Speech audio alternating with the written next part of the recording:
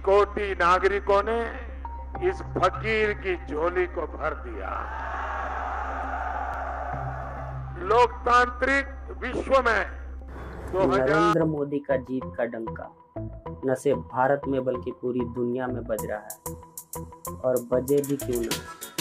बहुमत कितना परसेंट के विरोधी के चारों खाने चित हो गए। ना महागठबंधन चला, न गठबंधन, और न जात पात कोई राजनीति।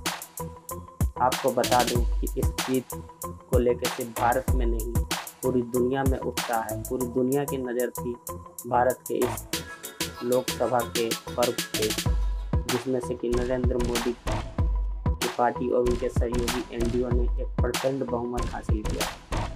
इसको देखते हुए पूरी दुनिया से बधाइयों का तांता लगा हुआ आपको बता दूँ कि कल रात से ही पूरी दुनिया से नरेंद्र मोदी को बधाई आ रही है हिलरी क्लिंटन जो कि यूएस के चीफ सेक्रेटरी उन्होंने ट्विटर के ज़रिए बधाई दिया है।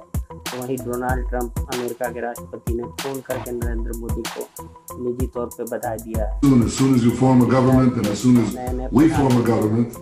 Well, thank you for uh, ने भी भारत के प्रधानमंत्री को बधाई दिया है। साथ ही उन्होंने कहा है कि हमारी भी नई सरकार बनी है। हम दोनों मिलके पूरे विश्व के लिए कुछ अच्छा काम करें।